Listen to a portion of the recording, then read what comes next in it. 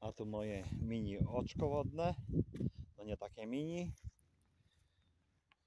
3 na 3 metry, może troszkę więcej. Woda bardzo ładnie nachodzi.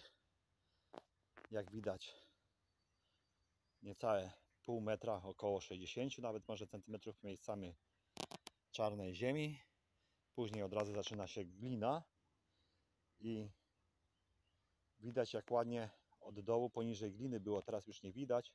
Źródełko płynie, z tej strony widać, o poleciało, ale woda napływa bardzo ładnie. Nie wiem czy będzie widać.